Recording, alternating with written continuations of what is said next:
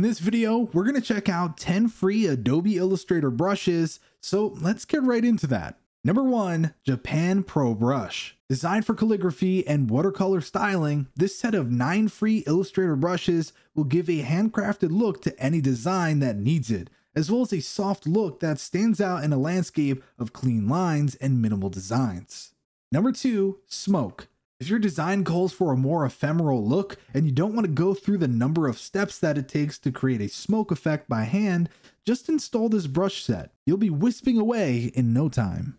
Number 3. Fur Brushes. You know what's hard to get right? Hair and fur. With these brushes, that challenge goes right out the window. Admittedly, they are stylized and not photorealistic, but with a little tweaking and expertise, you'll have these Illustrator brushes shedding all over your art. Number 4. Mel's Free Illustrator Brushes. There are quite a few brushes available thanks to Mel, from trees to hair, Christmas fair, and even penguins. These are more fun than anything, and for free, you have nothing to lose. Number 5. Rodeo. With as on trend as rustic designs are right now, you can't go wrong with the Rodeo Row brush from the Vector Lab. It's hand drawn and easy to use and can be applied to any path. Not too bad for a freebie.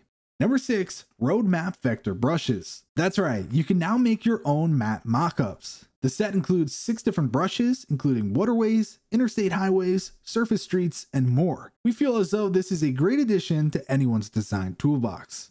Number seven, Child's Play. This set lets you put together authentic crayon and colored pencil art in Illustrator. Each brush in the set was scanned from real strokes using physical media. Number 8. Wax Crayon. This set includes a whopping 40 brushes, all for free. It's a collection of textures and lines that let you give the illusion of chunky, crayon-like textures. The textures lean toward a more retro, vintage look than the whimsical and childlike nature you might expect. Number 9. Essential Vector Brushes. This free sample is packed full of 29 different handmade brushes. With just a single download, you can get to making your designs appear as mixed media. Many sets come with a single, one-of-a-kind utensil, but this one runs the gamut and works as an all-in-one pack for people to keep their toolbox stocked. And finally, number 10, ornate pattern brushes. You get 12 pattern brushes included in the set, each designed specifically to work as either a shape of your design or a border or pattern by itself. Make sure to combine them and your work will take on a look that would be impossible to achieve with a simple pen tip or marker brush. And there you go, those were 10 free Adobe Illustrator brushes you can download today. If you enjoyed this video, then be sure to give it a like and subscribe for more content. With that said, thanks for watching and we'll see you in the next one.